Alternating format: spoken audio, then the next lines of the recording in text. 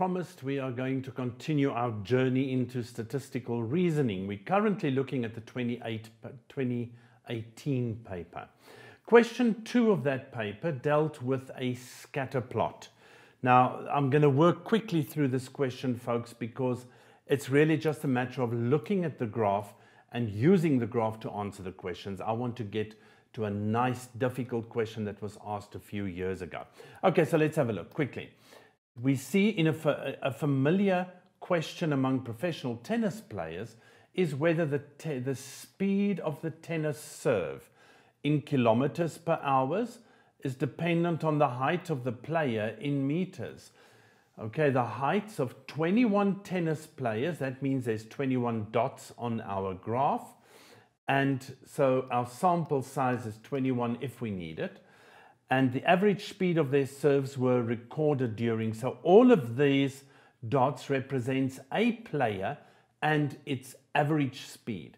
So it's not the speed that they measured only on one day for the one player. They must have measured 10 or 15 for the same player and took the average and took his height. And that is what made it into the data.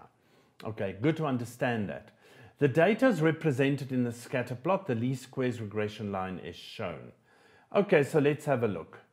What does this tell us? There's our least squares regression line, folks. Now we can see, don't um, use your eye, folks, to identify outliers. Outliers is the distance that the line, the point is away from the line. So this might over here might not be an outlier. This over here might not be. But there's a good chance that that point over there is an outlier because look how far it is from the regression line. Having said that, is the regression line a good representation for this data? Now, if I look at this diagram, folks, it's all about interpreting it. This these dots that represents the 21 players that they looked at are scattered quite some distance around this line. The line has a positive gradient, which does say yes, the height, there is a slight indication that the height of a person does influence the speed at which they serve a ball. But because the data is so spread, I can draw almost not really a circle, but more of an oval around that data. So the relationship is not that strong. Okay, having looked at the graph, let's see what they ask. They ask write down the fastest average speed achieved in this tournament. Now, folks, the fastest speed, this is where your speed is. The fastest lie over there. Now, if I come back to that, there's one, two, three, four, five lines. So the fastest speed is 200, and I'm going to write it here, 251 kilometers per hour. Now that is really smashing that ball. I don't play tennis, so some of you might laugh at me and say, oh, no, that's not that fast. But for, to me, it sounds fast. Drive a car at that speed and hit something, it'll be a different thing. Okay, 2.2. Consider the following correlation coefficients. Now, these are the correlation coefficients that they give us. If we look at the three, they ask us which one of the given coefficients best fits the plotted data. Now, well, I can hear you all say that that one doesn't because it is negative. If the correlation was negative, our line would have sloped differently. There would have been a negative relationship. The taller you are, the, the, the, the, the um, slower your ball moves when you hit it. Okay, now what is this 0.93? 0.93 is a very strong relationship.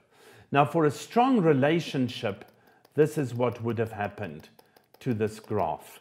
We have got a graph where the relationship is a little bit more scattered. So what are we going to choose?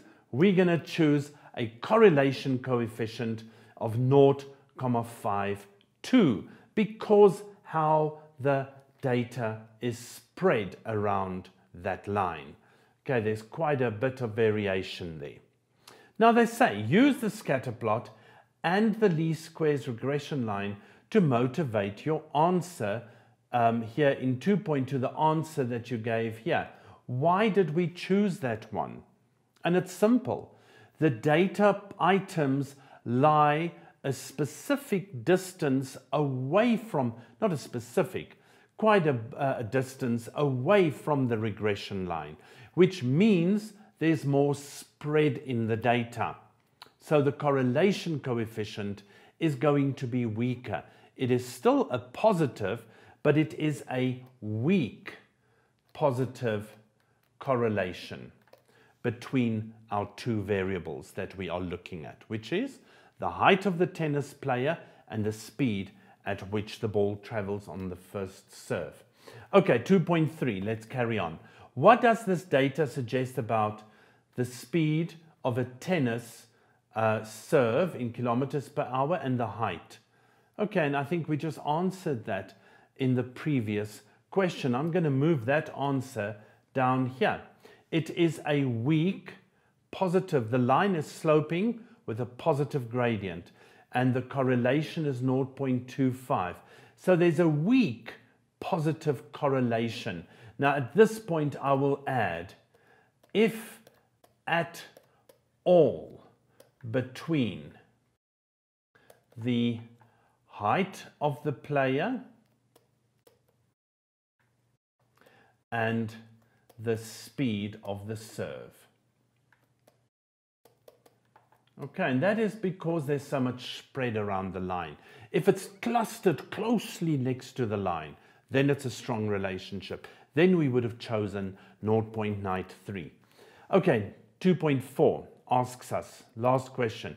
The equation of the regression line is given as that, they say. Explain why, in this context, the least squares regression line cannot intersect the y-axis. Now folks, at the y-axis, what happens?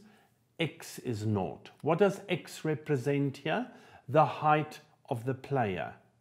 On a different planet where there's not three dimensions, a person can be naught units long, but not on the three-dimensional Earth on which we live. So it's impossible.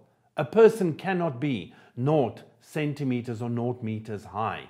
That is why the line, the, the, the intersection that this line could possibly have with the y-axis has no meaning to us because this flat person will then hit the ball at 27 miles per hour. It sounds ridiculous. Okay, somebody would ask you, what are you smoking your socks there? Nobody can be naught meters high. So this answer here is invalid um, at the y-intercept.